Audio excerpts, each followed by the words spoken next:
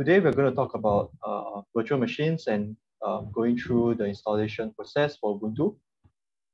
And um, the current workshop is actually adapted from um, Julius's one that we've run for around, I think, like two years now, um, from 2019. And yeah, let's get into it.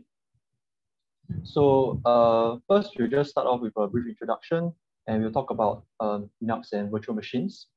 Then we'll move on to the install phase, talk about um, some useful additions that we can have to our virtual machine, and uh, go over some nifty tricks with the VM, and then we'll just uh, conclude from there. So just a bit about NUS hackers. Um, you can go to this link here, uh, which uh, where, where we post more details about the programs that we have. Um, if you want to join core team, how to join our events, and yeah, other miscellaneous things there. So we hold Hacker School, uh, Friday Hacks, Hack and Roll, and Hacker Tools. Um, during the semester itself, we organize Hacker School for uh, learning hacking as a beginner. So things that we teach are things like web development, Android development, um, developing Telegram bots, and so on. So these are meant to be beginner friendly. Uh, and it happens every Saturday. Yeah. Then we also have Friday so this happens every Friday evening where we invite uh, speakers from academia, industry, and so on to talk about various interesting uh, hacking topics. Uh, so I think this semester we are partnering with a couple of professors. So uh, we have one that's coming up uh, this Friday, which will be pretty interesting. And so definitely do join. Yeah. Then we also have Hack and Roll. So Hack and Roll happens uh, during semester two at the start of it. And this is a two-day hackathon where you actually get to build anything you want and have a chance to win prizes and freebies.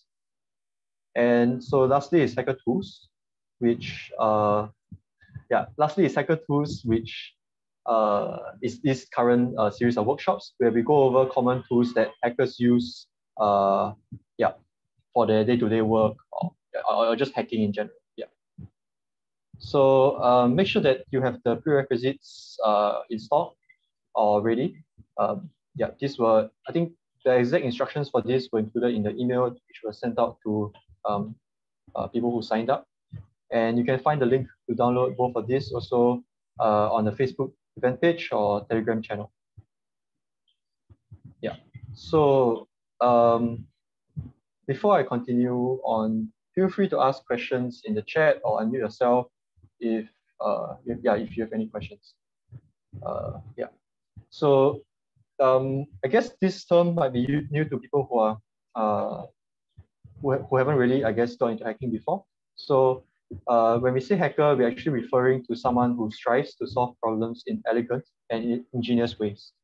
So the hack here refers to hack as in hackathon, where you build things, rather than try to break things by like uh, uh, what you call it, hacking into systems, right? So that's a different kind of hacking. Uh, yeah, so we are more focused on the building aspects of things and if you're curious to know more, uh, visit this link. Um, yeah, to see uh, our, I guess, our, our mission as NUS hackers. Right, so these are some examples of famous hackers. Yeah. So um, the Hacker Tools series is actually inspired by MIT CSAIL's missing semester of your CS education. And this is available at the link here as well. Uh, so this is originally called uh, Hacker Tools, right? And uh, so uh, the idea behind this series of workshops is that you will learn to make the most of the tools that hackers have been using for decades. And so uh, we want to help you to learn how to make the most of the tools that productive programmers use. Um, yeah, so brief introduction first on uh, Linux and Unix. So what is Linux? Uh, Linux is a Unix-like operating system kernel so these are the most, uh, this is the most popular uh, kernel in the world. And so Android, Chromebooks, most routers and servers, as well as supercomputers use um, Unix kernels. Oh, sorry, Linux, Linux kernels, yeah. And so uh, a kernel is actually like the most fundamental part of an operating system. So you have your applications and other software that's running uh, on the user level, and then you have the hardware itself, right? And so the kernel serves the purpose of um, the interface between these two components. Uh, feel free to let me know during my uh, sharing whether it's too fast or too slow, or if you have any questions. So uh, what is Unix? Unix is a family of multitasking, multi-user operating systems, and it was first released in 1973. In contrast, uh, the first uh, popular multi-user Windows was actually Windows 2000. So that was quite, uh, quite a while later. So some examples of um, Unix systems are Mac OS, iOS, Sun OS, BSD, yeah, and so on. So these are the most popular family of operating systems in the world. And so you can see like by the statistics, um, yeah, this is actually true. Most of us, a lot of us are using Android. So why should you use Linux? So most development tools are actually designed for Unix-like systems. So the development experience is much better right? And as computing students, uh, because you know we are involved with um, developing software and developing related tools, sooner or later you will end up developing for uh, on or on a Unix-like platform. So examples of modules that you will take if you are in NUS are like uh, networks or info retrieval, which require you to SSH inside a Unix-like system. Yeah. Also, most technology companies use it. So it is definitely a practical and useful skill. So we are also using virtual machines rather than doing a native install. So what exactly is a virtual machine and why exactly are we using it? So a virtual machine is actually a simulated computer. You can think of it like, um, so if you've played Game Boy um, games, right? Uh, uh, in the modern, in current times, to play a Game Boy game, usually you will install an emulator and you'll run a Game Boy ROM on it, right? So similarly, a virtual machine is a simulated computer. And you can configure a guest virtual machine with some operating system and configuration without affecting the host environment, right? So it's isolated from your um, your actually your actual native OS, whatever you're using, maybe Windows or Mac OS is isolated from that, right? So this allows you to experiment with operating systems, software, and configurations without risk. Like you don't have to worry about um, your partition drives being deleted or something, right? So it also allows you to run certain software that only uh, runs in a certain operating system. For example, uh, if you're using a Windows system, uh, one way to do it may not be the best way, but one way to run Linux software is to run it through VirtualBox, which we'll be using later. Yeah, and we also want to use uh, VM to experiment with like malicious software so that it doesn't end up you know, corrupting our uh, native system. So uh, yeah, so these are uh, the main features that are useful for a VM. So isolation is what we've roughly talked about, where we you know we want to isolate the guest from the host. So you can use VMs to run buggy or untrusted software uh, in a safe manner, right? And another thing that uh, VMs uh, usually offer are snapshots. So this allow you to capture your machine state, and you can then make changes to your machine uh, and restore it to an earlier state uh, if needed. So, um, but something to note as well. So VMs are actually slower than running on bare metal itself, right? So your native uh, OS, whatever you're using, probably can run software much faster than if you were to run it on a VM. Also, another thing is that it competes with uh, resource for resources with your host OS. So this means that uh, you shouldn't run, you, you probably can't, uh, or at least on a personal laptop, you probably can't run uh, multiple VM instances uh, if you don't have a lot of RAM, right? So, and your other software might uh, slow down as well take a, and take a performance hit. Yeah. So it also may be unsuitable for certain applications like games or high performance computing because yeah, they are generally slow. So some examples of um, VMs uh, that are being used like um, in industry or yeah. And so today this is the one we are using, the VirtualBox uh, uh, software. So this will allow us to set up uh, Ubuntu VM. Yeah. So now we're moving on to the setting up phase. So um, saw software. Uh, you don't have to pay any for not used to using command line interfaces. Um, okay, let me know if you are, if you still face any delays in audio.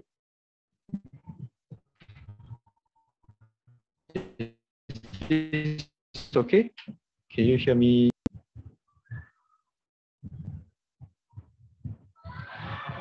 Okay, anyway, let me know in the chat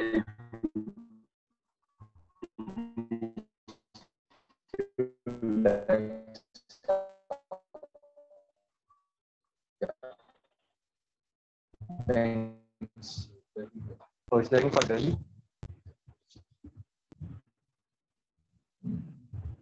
Let's to computer audio.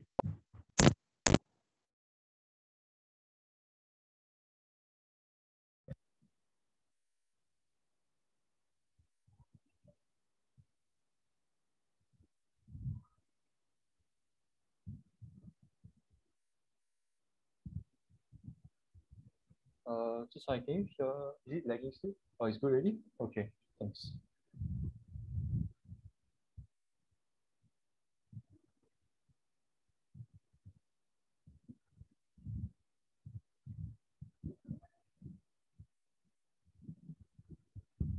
Okay, I think it should be okay now. Okay, thank you. Um, yeah, so let's continue on to uh, the actual practical itself. Yep. Okay, so uh, let's open up VirtualBox.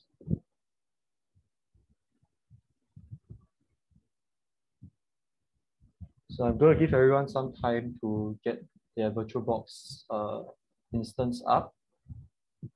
So maybe until around six, uh, sorry, six fifty. Uh, yeah. And if you have any troubles, let me know. Just open up the VirtualBox. Um, what do you call it? Application. Yeah.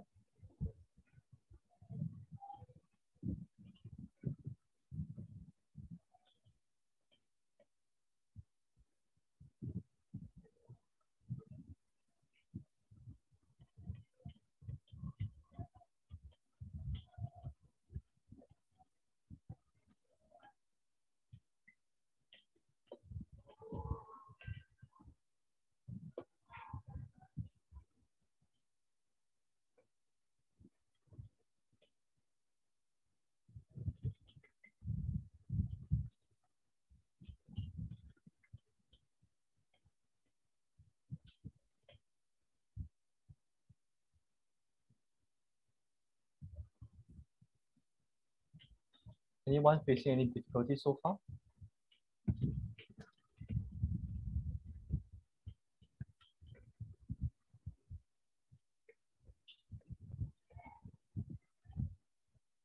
Or if you need a bit more time, let me know as well.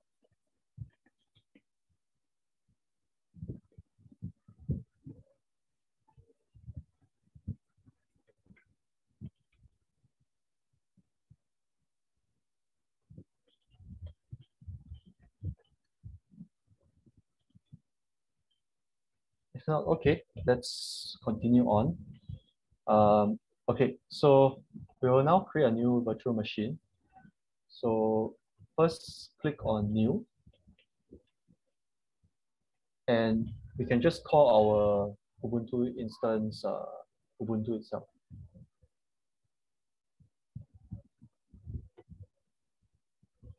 Uh, so here, the next step is to select the amount of RAM that we need.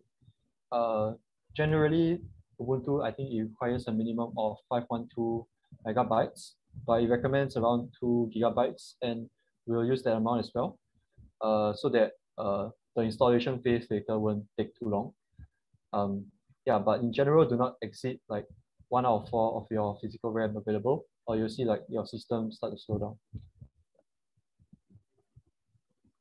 So we'll be using two gigs of RAM. And the next step is to uh, load in a virtual hard disk as well. So we'll just create one on the spot. And for this, we'll be using a VirtualBox disk image. Um, yeah, so just the default option. And we will then choose a dynamically sized um, hard drive so that we only take up the amount of space that we need and not more.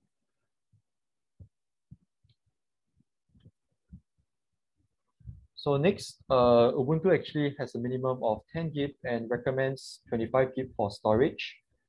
And so uh, the minimum installation requires around six gigs. So um, we'll just play it safe, I guess, and uh, we'll just use 20 gig for this installation phase. So we have extra allowances. Yeah. So once that is done, you can click create.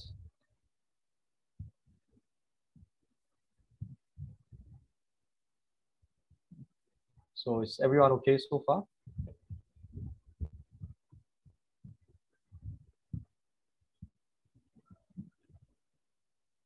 Okay, continuing on. Um, let me know if there are any problems or you need me to backtrack uh, along the way. Yeah. Um, yeah, so we have the things set up now. Um, the next thing we need to do is to actually load in the CD.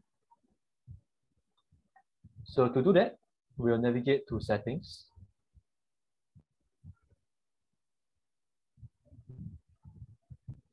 And we'll select storage.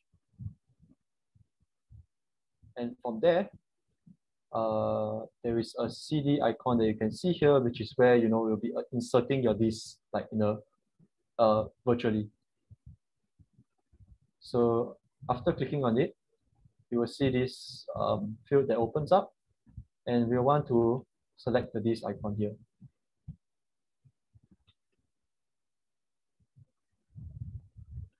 So remember earlier during the prerequisite stage, um, uh, we mentioned that uh, to install, uh, what do you call it, the Ubuntu ISO disk image. So this will be what we are using to install the Ubuntu um, operating system itself. So choose the disk file.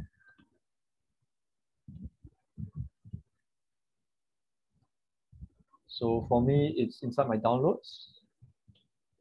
So I'll give everyone some time to find their disk image.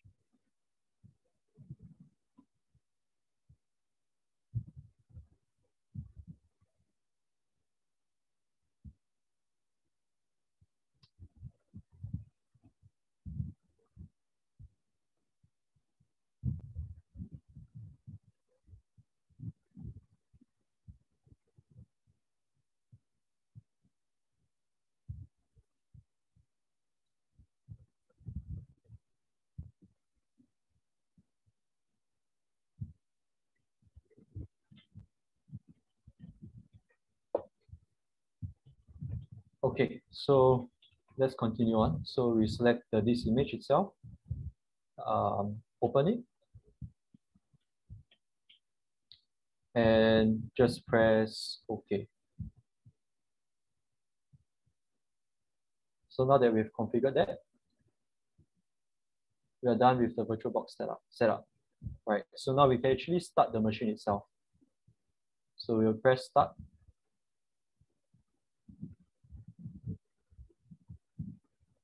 and press start again.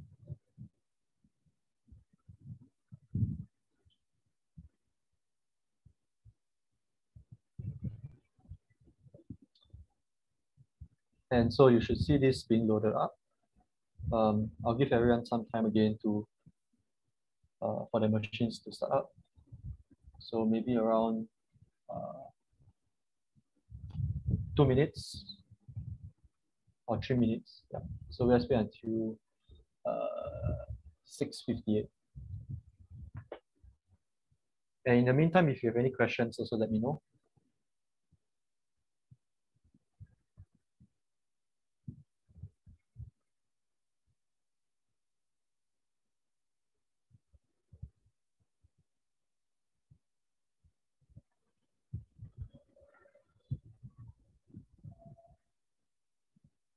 Also let me know if my audio starts to lag again.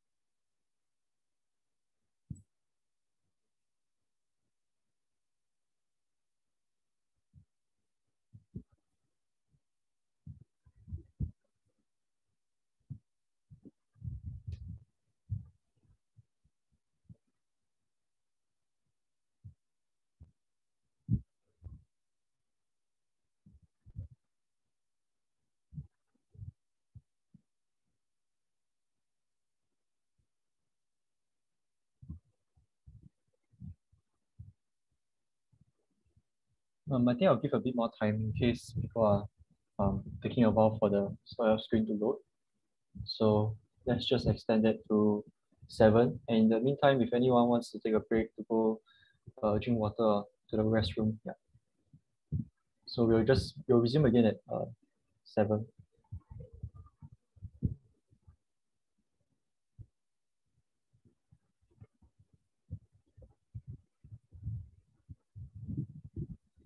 Actually, let's let's have a bit more time. I think seven, three minutes is a bit is a bit short. Um, let's resume at uh, seven o two.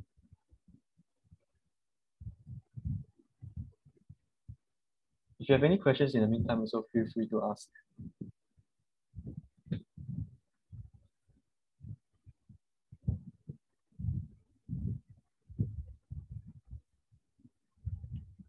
You can you can PM me in the chat if you are shy as well.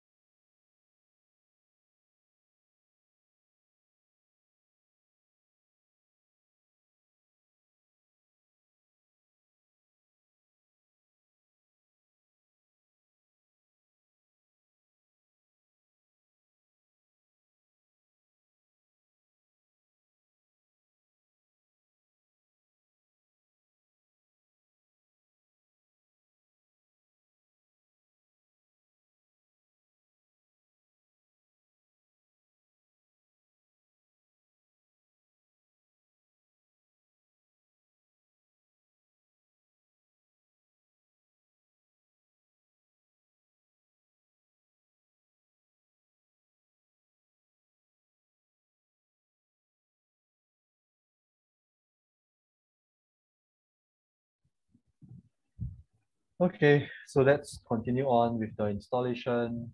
Um, so next, you click install Ubuntu. And uh,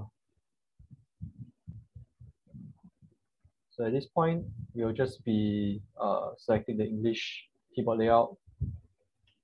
Continue on. Okay, uh, we want to use the minimal installation here so that you know it takes a faster time because we're just trying to see how to install. But um, I guess if you don't want as much bloat, you also will choose the minimal installation and just install whatever else you need. Yep, the slides will actually be shared later on. Uh, I actually can just share the link to the slides in the chat so that you can take a look at them. Um, give me a second.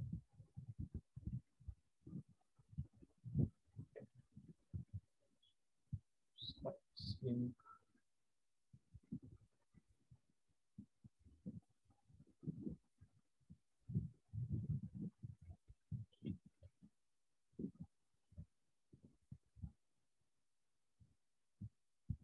Okay, let me stop screen share. Okay, actually I'll share uh, during the installation phase because the installation phase will take quite a while. So let me let me get the installation phase uh, up first. Then I'll take the time to go and find the link. So uh, we also want to uh, remove the download updates while installing Ubuntu. So just the minimum installation. After this, we click continue.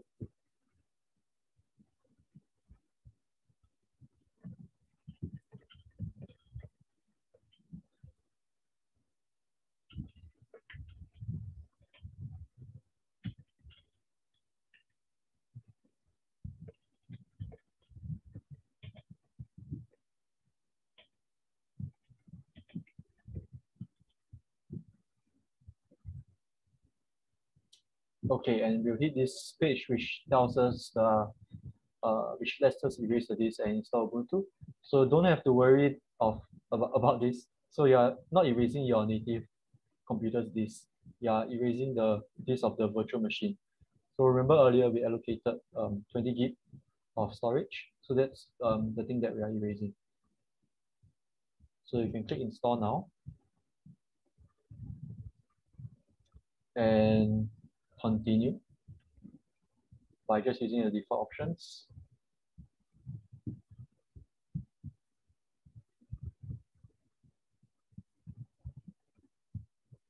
Okay, we can select Singapore or whichever country you're based in. And we just enter in our particulars. So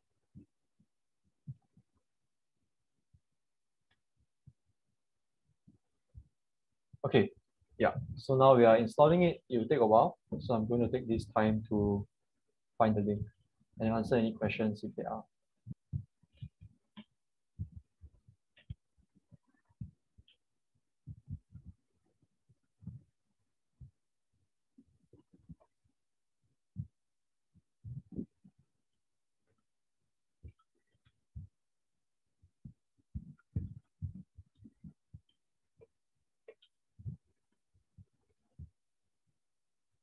Okay, let's continue on. Um, so at this point, we will need to remove the CD that you know we virtually uh, put into the virtual machine. So on the top left hand corner, there's a option for machine, and uh, click on the settings for the settings of your virtual mach machine instance. And there we go over to the same um, tab, which is the storage tab, and we check to see if the disk is still inserted. Uh, okay, so it should.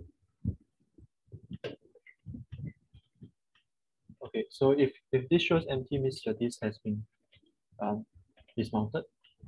So once that is verified, you can just press enter to continue on um, running our newly installed uh, Ubuntu system.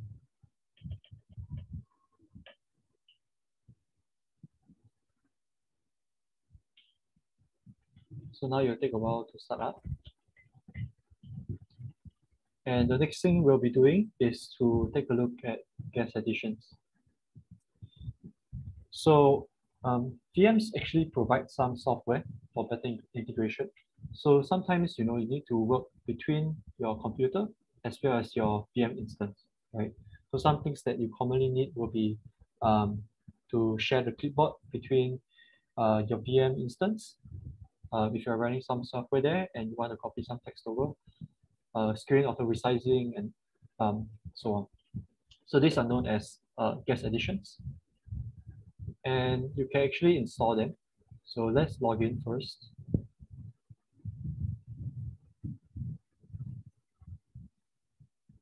And um, okay, let's take this takes a while.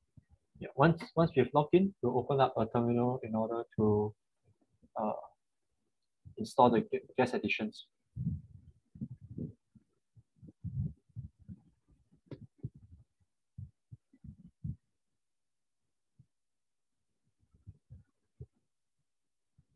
Okay, so now we've logged in into Ubuntu successfully. Uh, we want to open up the terminal.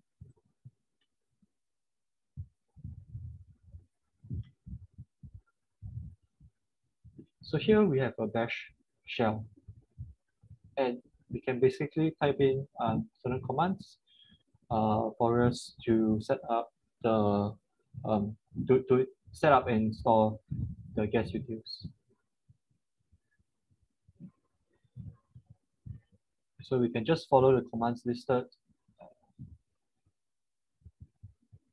Type in your password. Um, update the package repository. So what is a package repository? Similar to how you install things from maybe the App Store. Um, similarly, in uh, Ubuntu, you have a package store as well. That you can up, uh, you can which you can pull packages from. So you want to update that to make sure you have the latest um, uh, you have the latest uh, version of it.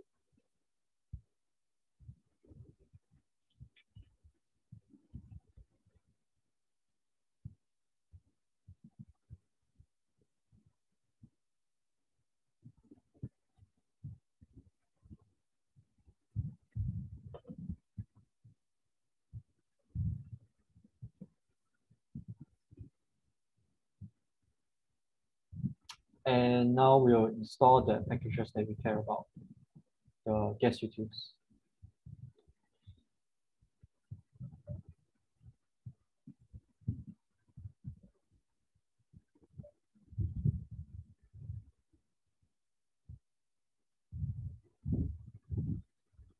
So, okay. It'll take a while to download all this. And um, something else to note while it's installing is that uh, if you are installing Windows or some other operating system, in this case, we are installing Ubuntu, right? But if there's some other operating system that um, we do not have guest additions in a package repository. So in this case, we have it in the um, Ubuntu's in Ubuntu's uh, package repository, specifically in apt right? Uh, if we don't have it, uh, what we can do is we can install it via this image. So if you click devices and um, you click insert uh, guest additions to the image. This will allow us to install it if we have it locally or also to download the this image. Okay, so um, moving on to the next part. So sometimes you actually may need to run unstable software on the VM, right? So you can always uh, force shut down your machine. Um, I think there's a shutdown button here, right? Yeah, you can always close your machine and you can, is there another power, power button? Yeah, I think it's here. So I'm not going to close it now. Uh, but yeah, you can probably shut it down and then you can always bring it up again. Uh, yeah. And so another thing you might want to do is also to save uh, the state of your virtual machine before, um, so that you can you know resume it later on.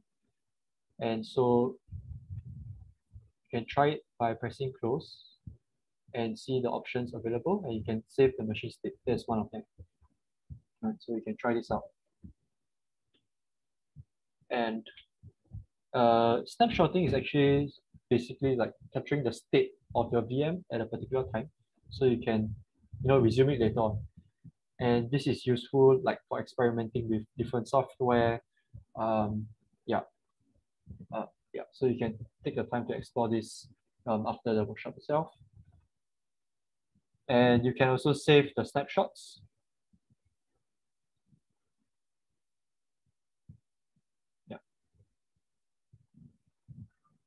And to restore um, all these snapshots, you shut down, you can shut down your VM and then you can select the snapshot that you want to resume and resume it from there.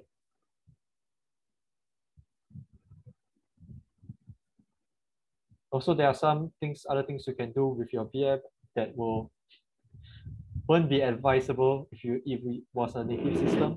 So this uh you can try don't try this out on your native system, try this out in the virtual machine instance. Uh I'm not going to spoil what it does, but yeah, uh you can see the uh, effects of it. So that brings us to the last part. Um, so, okay, this is, uh, sorry, so for the conclusion, concluding remarks, um, yeah, just try to install, you can install other, um, what do you call it, uh, operating systems other than Ubuntu. There's Arch, there's uh, Fedora, um, Manjaro, and many other operating systems that you can try out. And you can just choose whichever one um, suits your needs. Yeah. So, uh, yeah. So definitely just just try out whatever that was mentioned in the slides. You can try snapshotting as well. Um, try tweaking the the different parameters that we use when we're setting up your VirtualBox instances. And yeah, feel free to send any questions my way uh, when you when you've done so. Um, yeah, so for next week, uh, next week's hacker tools, right? Uh, because we'll be um, doing command line uh, scripting, sorry, command line and shell scripting. Uh, there are a few alternatives that you can use apart from a virtual machine. So this is one of the things you can use uh, as part of the workshop. But you can also install WSL. I think there's WSL2 now. Uh, and uh, for Mac OS, you can just simply um, run your terminal application. And if you are using Linux, I think you should know uh, how, how things work really. So yeah. Um, yeah, so if there's, uh, please do leave feedback for us via this link here, um, things that you like, dislike. Um, and also there will be a next, there will be hacker tools as well next week. So this will be taught by Hao Wei, one of our more senior team members, and it will be covering shell and scripting. So this will be on Wednesday instead of Tuesday, and it will be slightly later at 7 p.m. because we've realized that 6.30 is kind of an odd timing. Um, yeah, just let us know if there's any like feedback, like if you prefer other timings and uh, yeah, we'll, we'll see how we can proceed from there. Uh, if not, that's all. And just, yeah, let me know if there's any questions or I'll, I'll hang around for a while. Let me also send the link in the chat.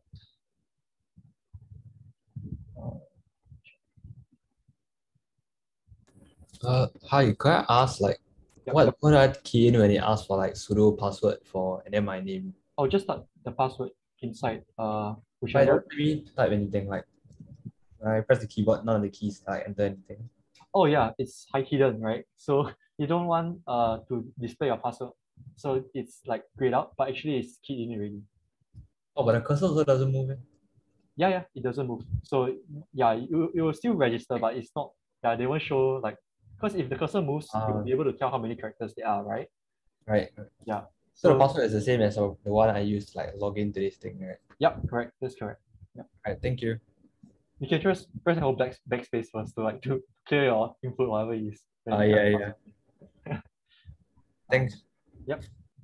Uh, see who else has a question. Um, Govin has a question.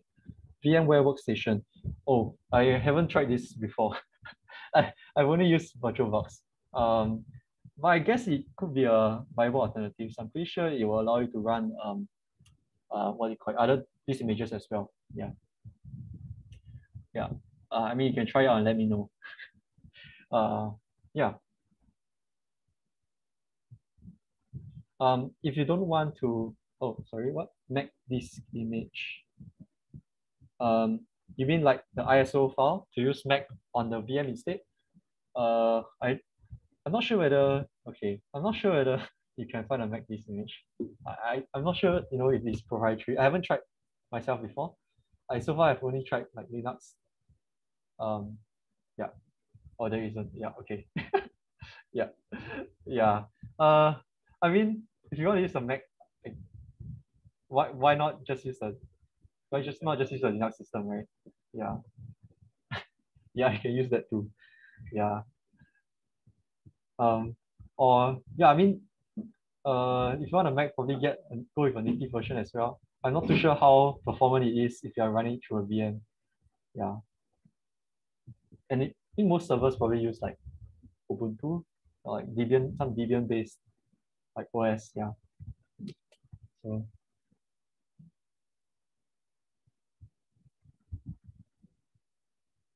or something more lightweight, I guess. So for next work next week workshop, if you don't want to install a whole virtual box um, instance of Ubuntu, you can just use WSL, like as as we covered earlier. Uh, and or or just if you're on OS X, just use the terminal app. Yeah. I think I think WSL two is now pretty okay. I have personally haven't used it, but I think WSL two is from what I heard is like serves the purposes that, that you will need.